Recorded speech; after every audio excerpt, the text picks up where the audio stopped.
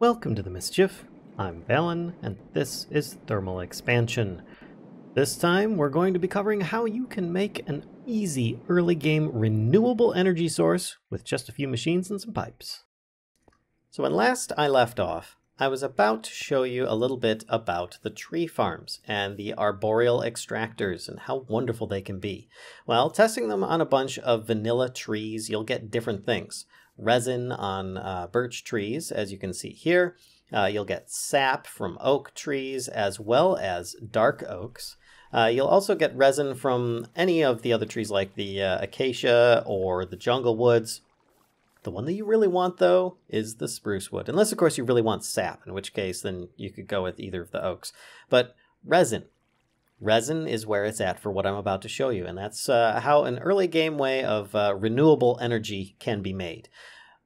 If you get yourself spruce sapling and grow it up to a nice, big, tall, strong tree, then you can get yourself resin at double the speed. So allow me to get myself uh, an extractor here and the reason I, I know this is because I, I, actually did a lot of testing with it. And it will start gathering resin much faster than uh, some of the other ones. Now, I did place it down slightly before the others, but you'll see that it, it will uh, start gathering things. Of course, this one's going to get sap, so it's going to be much less that it, it obtains. But um, it, actually, sap should be obtained at a similar rate uh, to your standard trees here. The, this one's probably about to get 50, uh, maybe, maybe not. But you can see this one's at 100. This one's still at 50, and your jungle wood is at 50. So it, it's already going much faster. It's going, it is slow though, very slow. And if you notice, a lot of these trees are missing their leaves, but not all of them. So the idea behind this is you can grow a sapling, cut off most of its leaves, but you're going to want to leave at least the top row, if not a couple uh, on top, just to be sure, because if you remove that, these stop functioning. Also, something of note, if it's no longer on a dirt block, these stop functioning. So you're going to want to keep at least a dirt block, the stem of the tree, and at least one or two layers of leaves towards the top, and these should still function. Uh, you can place it on trees that are already existing, or you can grow them. But if you hand build them, like you place a bunch of wood and then you uh, place some leaves around it, it's it's not going to work. It has to be grown or already existing in the world. So that that's kind of a bummer, kind of cool. I, I, it's up to you how you want to interpret that. Now, of course, I grew a spruce that's a two by two, and I cut it all down. It you know trimmed off all the excess leaves, and they all work around the outside edge. But if you try and use one of these above it, it's not going to work. It has to be on the base of the tree as well. So that's something else to keep in mind. It has to be on dirt, has to be on the uh, ground level or the lowest part of the wood of the tree, and it has to have at least leaves on the top couple blocks, if not the top block. Uh, and of course, you can surround it completely with these things on all the uh, flat sides. If you put one here, it's not really going to be harvesting anything, but you can put it on all the flat sides of a tree and get uh, four of them per wood block. Of course, if you have the um, the the two by two pattern, then that's going to be you know doubled. But you know you're you're it's entirely up to you how you want to do it. Now, how to create an easy source of renewable energy without a tree farm so you don't get all that lag from chopping down trees, rebuilding them, chopping down trees, rebuilding them in some kind of automated uh, way. There are some things I'm going to need to show you, and that is, uh, for instance, a fluid duct. This is added by Thermal Dynamics. Recipe for it is just copper, glass, and copper. Very simple. On top of that, we're going to be needing some leadstone flux ducts. And this is also added by the same mod, and this is just redstone, some lead, and some glass. It's a very cheap recipe. You get a bunch of them from each uh, build. And in a fractionating still, don't forget that you have a power. You're going to need to insert resin. It will then create rosin and tree oil as a byproduct. We're going to be making use of all of this. So this is not by any means an ideal setup. I set it up and it's not compact either. I set it up so that it would be easy to describe and you guys could see it. Now currently it looks messy, but it's actually not that bad. You start off with arboreal extractors around a spruce, preferably spruce, tree. It doesn't have to be. It could be some of the other ones. But it will need to be a resin producer in order to uh, get what we need out of it. over time it will very slowly get resin. You can always upgrade that with, you know, getting some more of the fertilizer. But you will want to add some fluid ducts to those to pump that out. Now, of course, don't forget, you're going to want each one of these to, uh, you know, go out at the bottom. I just turned that to input, but I'm going to show you everything first and then I'm going to start activating it. Because right now I don't want to start pumping this into here just yet. Next, you're going to want to have the arbor, arboreal extractors feeding into a fractionating still, which of course is going to need power, but it's currently going to start doing the one thing that we need it to do. Now it's pumping in the bottom, so I'm going to have it come in to here. Next, we're going to need a power generator. A steam dynamo is a good start. That'll be our first source of getting power. Now, of course, this one does not have any kind of ins or outs that you can uh, configure on it. So you're going to want that probably next to it. And it's going to be burning rosin. Uh, where is it here? Uh, we've got here, rosin, which is going to be made from the resin. And then that's going to be generating more power. So it's going to be making this circle of life. Uh, now, in order to do so, we're going to want to output this area to the side that the dynamo is attached to. So let's have this go out. There we go. Yellow is out. That's going to feed into the steam dynamo. Now, from that, it's going to also need more than just a solid fuel. It needs a liquid. And that's where the aqueous accumulator comes in, which doesn't use power either. Doesn't use power, and the arboreal extractors don't use power. Currently, the only things that use power is going to be the fractionating still which is going to help us generate even more power than it uses. So that's how we're basically going to be getting this done.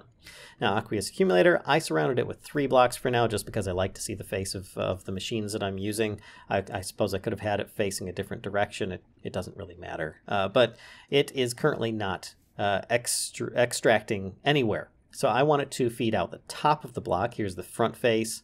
Top of the block is going to be output, and it's going to start feeding into here the steam dynamo. You can see it's filling up now, which is wonderful. That's exactly what we wanted to happen. Now, it's also feeding into something else, a compression dynamo, which I will show you that in a moment. Uh, so for the moment, just know that it, it's currently going to be using, uh, well, a lot of things.